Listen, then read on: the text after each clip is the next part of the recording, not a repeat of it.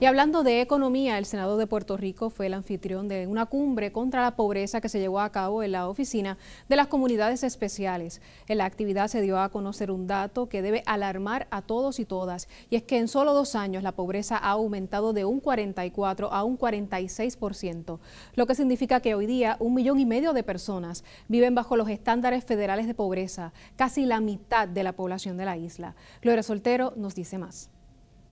La tercera cumbre para erradicar la pobreza que tuvo lugar en el Salón Leopoldo Figueroa del Senado trata de impulsar un movimiento multisectorial que a través de la discusión de ideas pueda impactar los esfuerzos gubernamentales, privados y comunitarios para reducir la pobreza y combatir la exclusión de las comunidades de bajos recursos económicos. En Puerto Rico, la tasa de personas viviendo bajo el nivel de pobreza bajo los criterios del gobierno federal aumentó de un 44.9% en el 2012 a un 46.2% en el 2013. Según datos provistos por la Oficina de las Comunidades Especiales, el gobierno de Puerto Rico ha implantado varios programas para atender la pobreza desde la década de los 40, pero ahora se necesita que el sector privado y comunitario ayude al gobierno a mermar la pobreza. Para Sistema TV Informa, Gloria Soltero.